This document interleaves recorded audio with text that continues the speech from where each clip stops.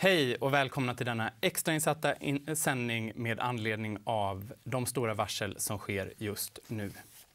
Ja, coronaviruset påverkar arbetsmarknaden väldigt tungt och många företag måste tyvärr varsla eller permittera sina anställda. Idag har jag med mig Annika Sundén, analyschef och Mats Rubertsson, kvalificerad handläggare här på Arbetsförmedlingen. Ni är varmt välkomna hit. Tack så mycket. Jag tänkte att vi kanske skulle börja med att reda ut vad varsel faktiskt innebär. Eh, Annika, vad innebär det att bli varslad idag? Ett varsel handlar om att det är ett företag som, som säger till sina anställda att, att vi förväntar oss att vi inte kommer att kunna ha arbetsuppgifter till dig framåt så att du kan bli uppsagt. Så det är en notifiering om att det kan komma att hända. Och det här beror ju på att, att i, till följd av corona viruset så, så lever vi våra liv på ett annat sätt. Vi går inte på restaurang, vi reser inte, vi handlar mindre. Och då är det ju många företag som inte längre... Men kaféer stänger, flygbolag flyger inte längre. Eh, det är mindre folk i affärerna och då finns det inte arbetsuppgifter längre. Mm. Och Mats, permittering är ett ganska nytt begrepp för många. Eh, hur skulle du förklara vad det betyder? Permittering är en möjlighet för arbetsgivare att låta medarbetarna, istället för att säga upp dem, att låta dem gå ner i arbetstid. Eh, och det är av samma anledning till följd av att det, inte fin att det finns färre arbetsuppgifter att utföra egentligen. Så att det är en möjlighet att gå ner i arbetstid. Mm. Och det som, det som är med permitteringar just nu, det här, det här är en kris som vi vet kommer ta slut. Det är ett virus, det här viruset kommer försvinna. Eh, och då vill ju företagen, det som är viktigt är att företagen finns kvar när, när det här har, har eh, blåst över eller när viruset inte längre finns. Eh, och därför kan det vara bra för ett företag att permittera för att ha kvar sina anställda för att kunna dra igång sen när hjulen börjar rulla igen. Mm. Mm. Och permittering är ju någonting som har funnits, alltid funnits och det är avtal mellan arbetsgivare och arbetstagarorganisationer.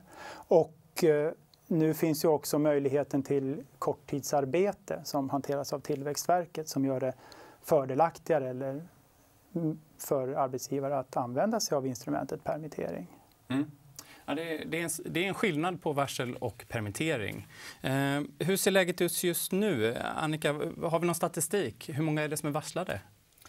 Normalt sett, om vi bara ska ha en jämförelse, normal månad om vi tar mars för ett år sedan, då hade vi ungefär 3 000 personer som blev varslade om, om uppsägning. Under de här senaste veckorna, de senaste två veckorna, så har vi 18 400 personer som har blivit varslade om uppsägning. Och bara under förra veckan så var det 14 000 nästan. Så det är väldigt stora tal.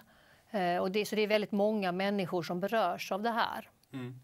Eh, om vi ser tillbaka till tidigare kriser, jag tänker framförallt på 2008 när den stora ekonomiska krisen kom senast. Eh, hur många som, har varit, som är varslade blir i slutändan uppsagda? Det är ju viktigt att komma ihåg att, att bli varslad betyder ju inte att man har förlorat jobbet. Det betyder att man kan förlora jobbet. Om vi tittar på finanskrisen 2008, så av de som blev varslade då så var det sex av tio som sen blev uppsagda från sitt jobb. Men det här var människor som hittade nya jobb ganska snabbt. Så i slutändan så var det ungefär tre av tio som blev arbetslösa. Mm. Så det är inte så att man direkt går in i långtidsarbetslöshet bara för att man har varit varslad och blivit uppsagd eller inte blivit uppsagd? Vi har ju fram till coronaviruset kom haft en väldigt bra arbetsmarknad och det har funnits gott om arbeten om man har åtminstone en gymnasieutbildning. Eh, och de här personerna som nu kan bli av med sina jobb är ju personer som har haft erfarenhet, de har jobbat. Så de, de står ganska nära. De har ganska goda möjligheter att när ekonomin sen börjar komma igång igen, när företag börjar, när vi börjar leva på, på, på vårt, vårt vanliga sätt eller när vi börjar gå ut igen och äta på restaurang och, och handla och resa så kommer de här personerna kunna få nya jobb. Mm. Eh, och vilka branscher och sektorer eh, ser vi flest varsel i? Vi har gått in lite på det tidigare. Eh, vård är en av dem till exempel. Nej, vår, vår, Förlåt, vår, inte vård. Nej, det är precis tvärtom. Hotell och restaurang. Hotell och restaurang. Mm. Hotell och restaurang. Ungefär hälften av varslen ligger i hotell och restaurang. Mm. Eh, och det är där de har kommit först. Eh, men vi ser det också i bemannings, bemanningsföretag, reseföretag, i transportsektorn och i handeln. Om vi tar vård och omsorg som du nämnde mm. så är det ju en sektor där det är väldigt stor efterfrågan. Och, och, det behövs ju mycket människor i sjuk och hälsovården och omsorgen just nu.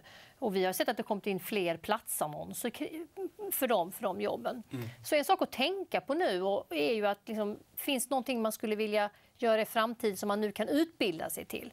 Det finns ett stort behov i, i vård och omsorg. Det kanske är dags att börja tänka på en utbildning inom det. Mm. Ja, men jättebra poäng där. Eh, Mats, permittering, vi får gå tillbaka till det. Ja. Eh, har vi några siffror på, på hur det ser ut med permittering? Permitteringarna har eh, fem, 650, 650 stycken. Ja, det, det, är inte särskilt många ännu, men vi förväntar oss många fler. Mm, mm. Eh, och det är ju Tillväxtverket som sagt som kommer att registrera de här. De kommer att göras från 7, 7 april. Mm. Och är det några specifika sektorer där vi tror att permitteringarna kan öka? Man kan tänka sig att permitteringar är ett instrument, någonting som kanske tilltalar industri eller där kunskapsintensiva företag i större utsträckning. Mm. Och eh, där, där, är det, där är fördelaktigare att eh, låta personer, att få tillbaka personer i arbete. Vill man få, Mm. Där man vill få tillbaka personer i arbete ja, fort. Med kompetensen så att ja. säga. Ja, men det, det, det är viktigt det här att, att det här är ju som sagt en, en hälsokris där det här viruset så småningom kommer försvinna. Mm. Vi vet inte exakt när det är. Men då är det viktigt, och är det viktigt för alla att de här företagen finns kvar. Mm. Och, re, och, det, och då i, i anledning att permitteringar kanske inte har varit vanligt tidigare är att företagen själva har fått stå för kostnaden. Mm. Nu har regeringen gått in med, med kraftfulla insatser där man då hjälper till och betalar de anställdas löner mm. för att de ska kunna vara kvar, för att företagen ska kunna leva vidare. Mm. Så det handlar väldigt mycket om att, att hålla ekonomin eller hålla de här företagen uppe. Ja. Så att, att de finns kvar och att vi kan sätta igång sen igen när det här ja. viruset är borta. Så traditionellt sett så har, vi, så har vi inte sett så mycket permitteringar men det har börjat öka nu, vilket visar på att det är en extraordinär situation vi, vi står inför. Ja, det skulle man kunna säga. Man säga. Mm. Ehm, och till sist, om man nu står inför att bli varslad, har ni några tips på vad man kan ta med sig redan nu och börja tänka på? Men en sak är ju att tänka på, många som, blir, som också förlorar jobbet och inte bara blir varslade är ju timanställda och som har haft viss, visstidsanställda. Många av de här branscherna är ingångsbranscher, så det är många, många unga människor, många som är precis i början av sina arbetsliv. Det här kan vara en tid att fundera på. Jag kanske måste, ska utbilda mig, jag kanske ska ta tillvara den här tiden och hitta en utbildning.